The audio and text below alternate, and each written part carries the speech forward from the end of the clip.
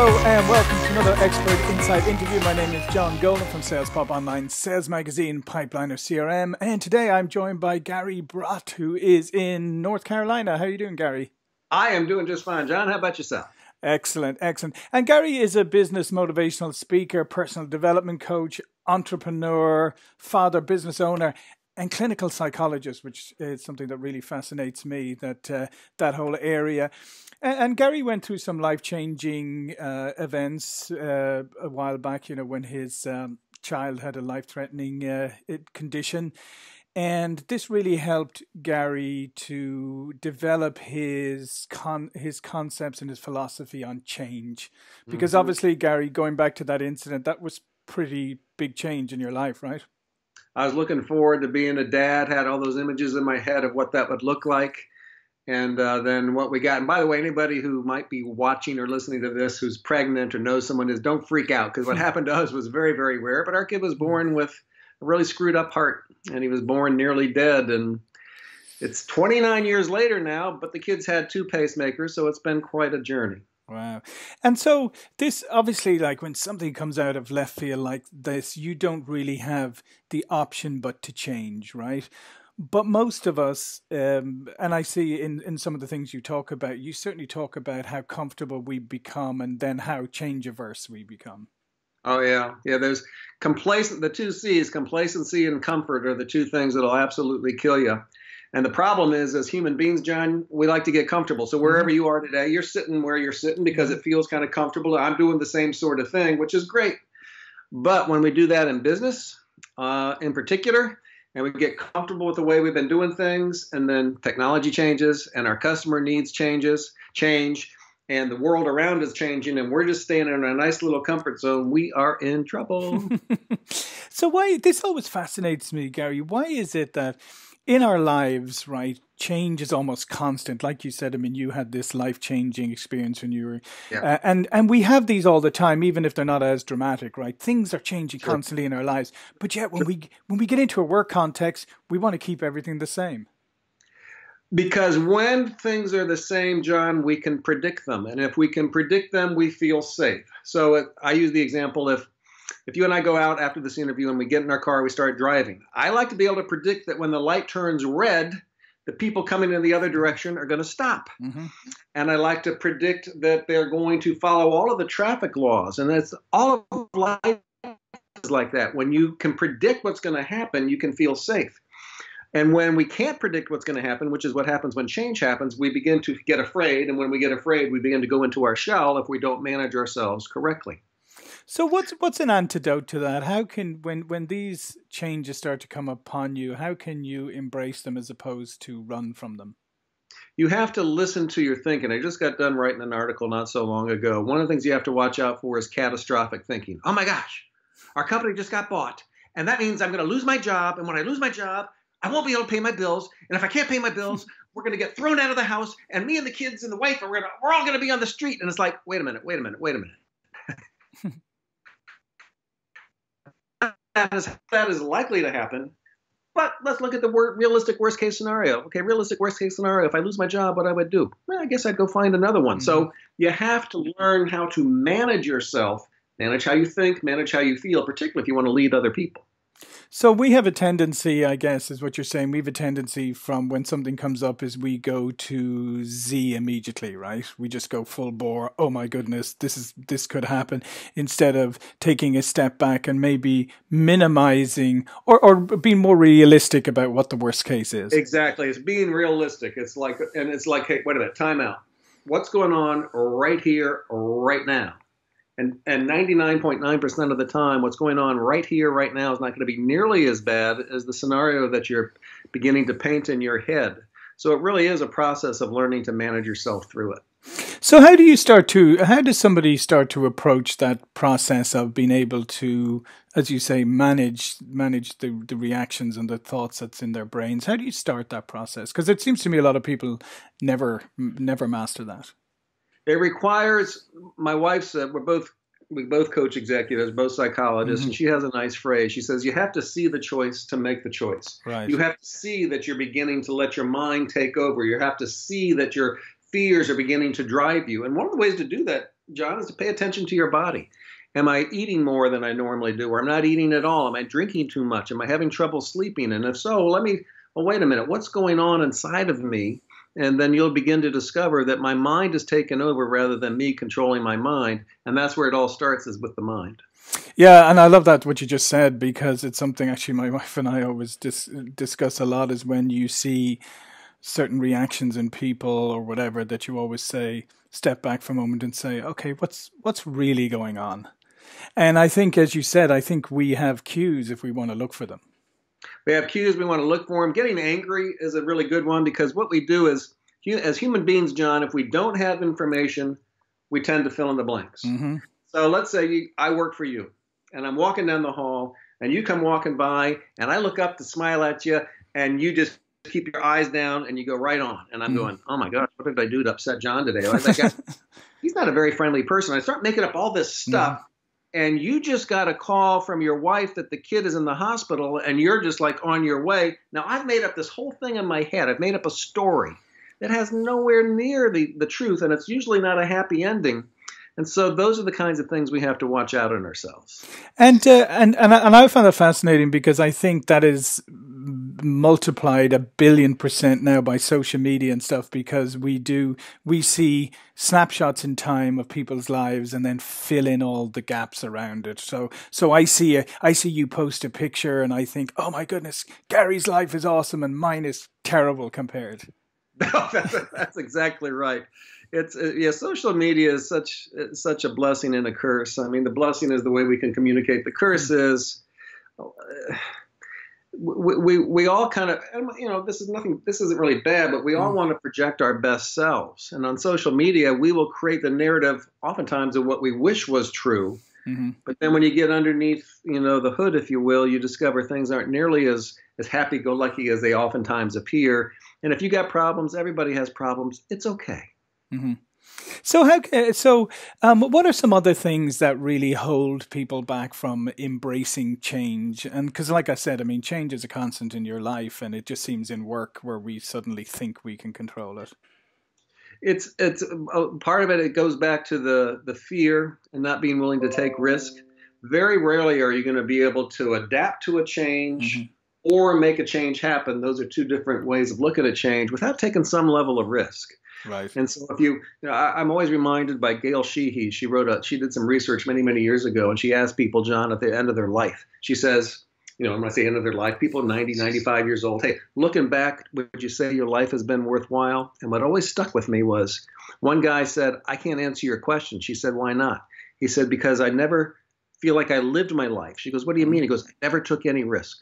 He goes, I always did exactly what I was supposed to do. And now at the end of my life, you ask me, if I've lived my life, I don't even feel like I lived it. And her research, as I recall, I might be calling it wrong, but as I recall, her research showed the people who reported they had taken some risk along the way, whether the risk turned out mm-hmm. the way they did or not, said, "Yeah, my life's been worthwhile." So you've got to you've got to be willing to get through that fear barrier and take reasonable risks. Don't go hmm. jumping off the bridge if you can't swim. Right, right. So, uh, so good. Stay right where you are. Yeah. So calculated, calculated risks. But, uh, but I, yep. uh, uh, but I get your point because yeah, I think that if you look back, you know, when I mean, even though I look back on on my career, I think okay, there are things that I did. You know, I I took a few risks. Some of them looked like they were a disaster, but in fact, they led to something better in the end. Exactly. Exactly, and, and, a big part of it is is just kind of how you think. It's going back to that thinking process. You know, one of my beliefs is that every change creates opportunities, mm-hmm. but you're going to have to work to find them. You can't just sit there and go, okay, well, change creates opportunities. I think I'll just wait for it to fall into my lap. No, I'm going to have to work for it. I might have to take a little bit of risk. I got to calculate that out but if I think about the, if I think about it that way and I'm willing to overcome my fear, then I'm going to find those opportunities that change always creates. And and that's another that's another fascinating point that you hit on here because I think we we exist in this shortcut culture today in this instant culture where people feel like I mean feel like they almost can sit back and wait for things to to come to them. How do you get people out of that mindset and to the fact that it, there are no shortcuts really? Everything comes with choice, hard work, and consequences what I try to do is hold up a mirror for people, John, and I like mm-hmm. to ask this question. I say, where do you where do you see yourself in three to five years from now? Where would you like to be? Oh, I'd like to be here, here, here, mm-hmm. here. And I say, okay, well, let me hold up a mirror and let's take a look at the direction that you're headed. Now, let's say you say you want to be over there, but it looks like you're headed over there. What's the likelihood that's going to work?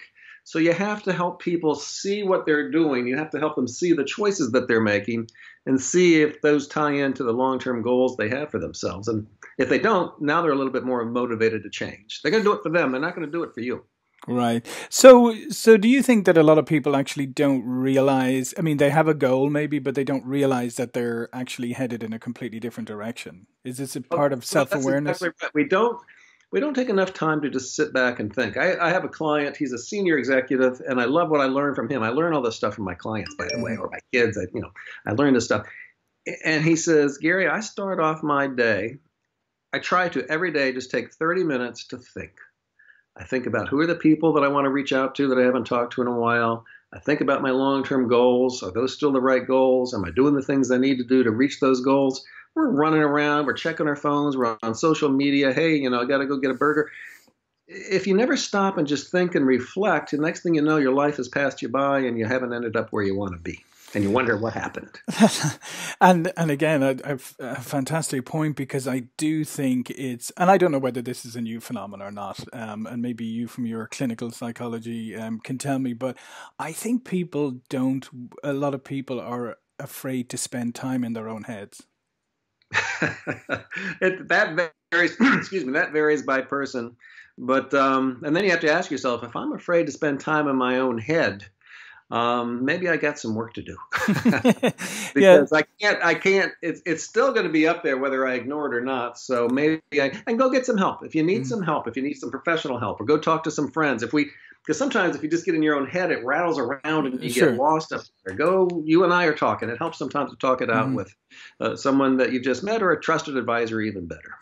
Is is when when you work with people, is self awareness one of the hardest things to to get people to you know embrace? Because I've always found in my career that's the one thing that's really tough when people don't have any level of self awareness. That you, it's really hard to to help them to change it, without self awareness, you're done. You, mm-hmm. you you can't make a change. So, for example, right now we're doing this video interview, mm-hmm. and you're going, "Why? Gary's got that thing sitting there, a piece of lint on his shirt, and it looks awful. Why isn't he knocking that off?" Well, I don't know what's there. Of course, there isn't. I'm just using it as an example.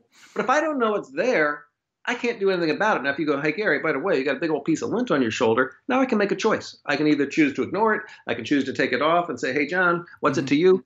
But if I don't have any awareness, I'm stuck right where I am and I can't make any changes. Hmm. So how so so how do you help people to to realize that and and get to that stage where they can be a little bit more kind of maybe introspective or or look at themselves and as you say like hold up the mirror and actually see what's going on?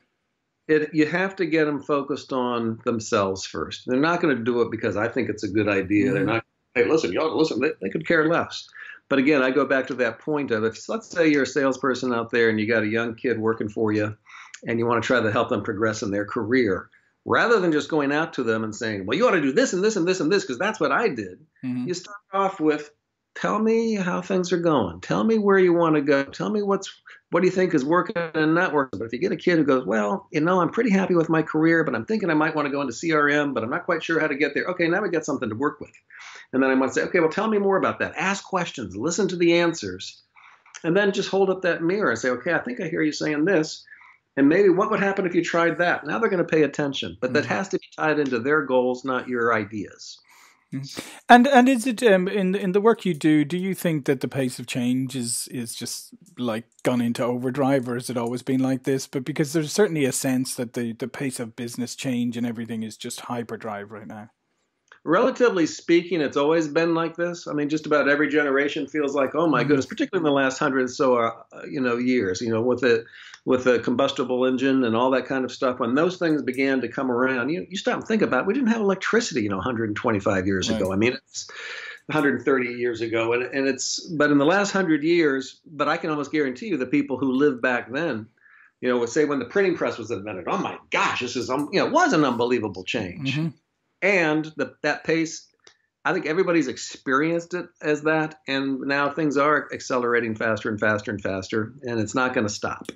So how do you how do you deal with that? Um, and you know, because we're talking about change, but if you if you change direction every moment and every time something new happens, I mean, you could be you know you get dizzy. So how how do you help people select the right changes to make? Your foundation is your values, John. Mm-hmm.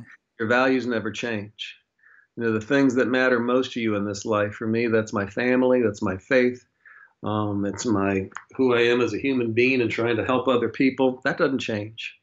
So I try to stay rooted in those things that do not change, and that mm-hmm. way, even though all the stuff out there might be changing, I can view it more as an opportunity and more as fun because there's fundamental parts of me that never change and that gives me the grounding that I need to deal with everything else. Yeah, and I think that's a great message because I, I think that in the world we live in today, whatever those values are for you, I think we need those anchors or those things that, you know, keep us steady in, in the midst of all this mayhem, right? That's exactly right. Everything else is just stuff to do until we die. that's, I mean, there's all these different kinds of things. You know, I'm a psychologist and a speaker and a writer, and you're doing what you're doing, and the people listening, we got to do something, so we sure. do it. But uh, along with that part of, I guess part of my values is, and I try not to take myself too serious. Mm-hmm. Life is serious enough without me piling on. So I, I rely on my fundamental values, and when I got to make tough choices, when I've got and change has created some really tough choices, mm-hmm. I use values like a compass. I pull my values out and I look at them. And here's the thing about values, though, John. We're talking going full circle now about mm-hmm. being comfortable and all that stuff. Values are going to point you in the right direction, not necessarily the easiest direction. Right. So they're a bit of a test you say, you know, my values are saying I go over there, but man, it's more comfortable over here. So values will be tough sometimes, but that's how you make those decisions. Yeah, no, I, I, I love that because I mean, I always say that if you do the right thing, it will it will always be the best thing to do. Probably never the easiest thing to do, and the right. outcome may take a lot longer than if you do the not so right thing. That's exactly right. That is, and I, I pretty much have lived that philosophy as well. Uh, it's it's interesting as a coach when I coach an executives, they come to me with all these complicated things. And Gary, what should I do? And I'm usually like, well, let's start with telling the truth. what? What? what? You know? but that's and if you do, it tends to be a lot less complicated. But those are just, those are my values. Other people mm-hmm. have other values, and but yeah. whatever your values are, they will point you in the right direction. Yeah, so that's a great way to end. Is just to um to, to, tell the viewers today, maybe go revisit, see what your values are, whatever they are. Maybe focus in on them and see, as you said, you know, where are they pointing you, and are you actually headed in the same direction as your values are telling you to go? One of the most powerful exercises I do in my talks, John, I call it the two-minute drill. I tell people, imagine that you got some child in this world whom you love with all your heart and soul, and something's happened to you, not to them. I'm going to give you two minutes. Mm-hmm to write them a letter. I mean, you got to pretend this is the last time you can ever communicate with them and let them know everything they need to know about life and what matters most. And I say go, and they write for two minutes and they come out of it. Some of them crying, some of them feeling because they very quickly get in touch with what matters most. Uh, wow, that's a that's a fantastic piece of advice, and I hope everybody takes that. In fact, I think I'll do my that myself later, just to um, as well. So, um, Gary Bradt in North Carolina, thank you very much for joining us today. Before you go, how can people find out more about what you do? Um, I'm represented by PlatinumSpeakersAgency.com. Uh, Donna's my manager, so Platinum Speakers Agency, or my website is GaryBradt.com. Excellent. My name is John Golden, Sales Pop Online, Sales Magazine, Pipeliner CRM. See you all for another expert interview very soon. Thank you.